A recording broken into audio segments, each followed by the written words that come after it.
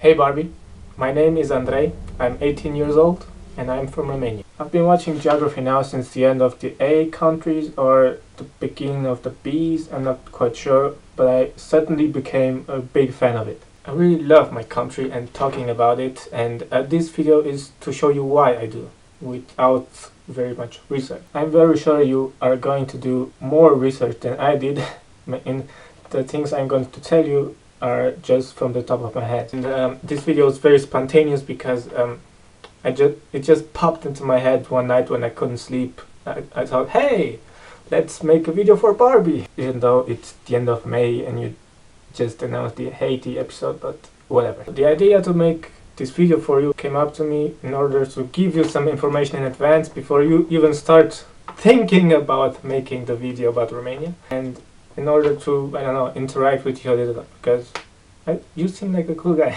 So let's dive in. It's time to learn geography. No! As you probably know and mentioned in the Chad episode, our uh, flag is quite simple. It's that basic rectangle with three stripes, blue, yellow and red. Now, allegedly, blue stands for liberty, yellow stands for justice, and the red stands for... Brotherhood. Romania is located in southeastern Europe, bordered by five other countries, Ukraine to the north and east, Moldova to the northeast, Serbia and Hungary to the west, Bulgaria to the south, and the Black Sea to the east. It consists of 41 counties, or 42 if you consider the capital and the larger city Bucharest, which lays in the southeast of the country. And that's quite difficult because around the city of Bucharest there's the county Ilfov. And the Wikipedia page of Ilfov says that the city of residence of the county is Bucharest. And that's kind of confusing because Bucharest is its own county. I don't know. The shape of Romania is quite interesting because it looks like a fish. I really hope you see it because my current German colleagues can't see it. I don't know why. I live in Germany since 2012. The most important national airports are of course in Bucharest. Two of them, actually. Henri Coandă and Aurel Vlaicu. Another important one is Sibiu International, where I come from, Cluj-Napoca International and Târgu Mureș International. Aside from them two, there is Timișoara, Traian Vuia, Iași International, Craiova and Constanța Mihai Gălnicianu most important river of the country is of course the Danube, shared with Serbia and Bulgaria and a little part with Ukraine because at the tail of the fish it splits and reaches Ukraine somehow. And then of course it flows into the Black Sea. Apart from the Danube, another important river is Mureș, Olt and the Prut, which is shared at border with Moldova. We often refer to, the, to Moldova as our neighbors across the Prut. The highest peaks are Moldoveanu at 2544 meters, I've been there. And Negoiu at 2535 meters, and I've been there too. The most forests in Romania are in the, in the southeast and in the west. There we can see lots of animals like foxes, bears, wolves, lynxes, and sheep, uh, goats, black goats, and of course uh, the national animal, the eagle. Apart from those, Romania has a lot of castles. Fun fact, Prince Charles of Great Britain has uh, relatives in Romania. He even bought a house in Romania. The most popular foods in Romania are, of course, mamaligă, sarmale, which is kind of Turkish, and of course, mici. Almost every weekend you can see uh, Romanians outside with the barbecue preparing some mici. They're just a must-be on the barbecue. Romania consists of 20-ish million people. The, most of them are Romanians, obviously. The, are, the major majorities are Hungarians and Moldovans. I don't really know the numbers, but out of experience, I just know that they are the biggest minorities in Romania. The currency is the Romanian lion, or leu. That's, that's the new lion because this is the one leu bill. The old one were 10,000. This one is the 50 bill. And it used to be the 500,000. The coins of Romania. Bani, which basically translates into money. Now you got 50 money. it's kind of weird, but we like it. We mostly use the C and F outlet and we drive on the right side of the road. There is a total of nine regions in Romania. East we have, like I said, Moldova, uh, Romanians with Russian accents, like the Moldovans themselves. The north we have Maramureș and Bukovina. They are mostly alcoholics, like related to the Moldovans. To the west we have Crișana and Banat. In Banat are many Serbs, like because it's like on the border with Serbia.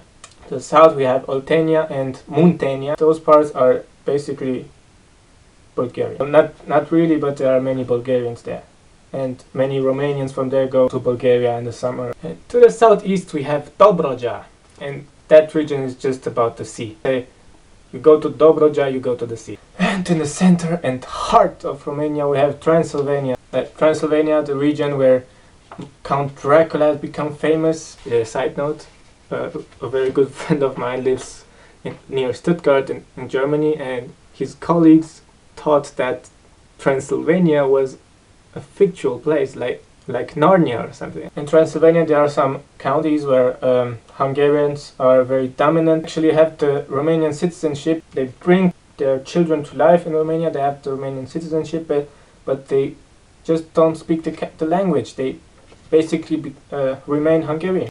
For example, a few years back, when I was still living in Romania, I used to ski a lot and participate at the Romanian national championships in skiing. And uh, I was teammate with some Romanians allegedly, but I couldn't get along with them. You know, I, our national language is of course Romanian with specific dialects in the region. For example, in Ardea, like a little part of Transylvania, we say fine, or like every kind of shoe we call papuch, but the rest of country that just doesn't. Looking at the religions, the most Romanians are Christian ah, and atheists. I, I personally haven't heard about uh, Muslim Romania. Some of our famous people are Gheorghe Hagi, Nadia Comaneci, Ion Țiriac, Ilie Stase, Mihai Eminescu, Constantin Brâncuș, Petrache Poenaru, who invented the pen, and of course Dracula, which is actually a character based on a former king we had called Vlad Țepeș, who used to punish people by, um, I don't know. Considering that some some cities in Romania speak German as their second language and it is taught in school as the main language actually, because Romania has been influenced by the Saxon to the Austrian-Hungarian Empire, or basically German. The cities have those plates when you get in that are in three languages, obviously Romanian, German, and Hungarian. Not all of them, but mostly in Transylvania. Romanians mostly get along like, with people from countries that speak Romance languages like France, Spain, Italy, Portugal, or neighbors. Like Hungary is like okay, but, but we had some controversial background and this, this current thing that the Hungarians in Romania want auto- autonomy, like build their territory there, is like pissing us off basically. Serbs are like eh. With the Bulgarians, the Romanians are very competitive. Like in soccer, our national sports, are very competitive. Whenever uh, Romanian side plays a Bulgarian side, it really gets on. Like there are like two sibling football clubs in Romania and in Bulgaria, because both were clubs uh, affiliated by the respective armies, and they are like brothers to themselves.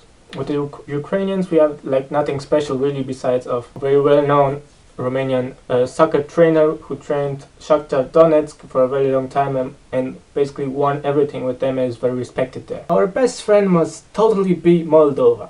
Many students from Moldova travel across the border to us to like study, to work afterwards and gain, gain the citizenship. Many people as well from Moldova and from Romania reunification again. We speak the same language, we have the same blood actually and we just want that back. We just want our little brother back. So that's basically it. Remember, Bobby, these are just things from the top of my head. I didn't quite do any research at all, and I'm sure you will find a lot of more cool stuff to teach the geographies. In conclusion, I hope you liked this video. I hope you learned something new about Romania from me, and I hope you would respond to me to this and keep in touch. Stay safe, stay tuned.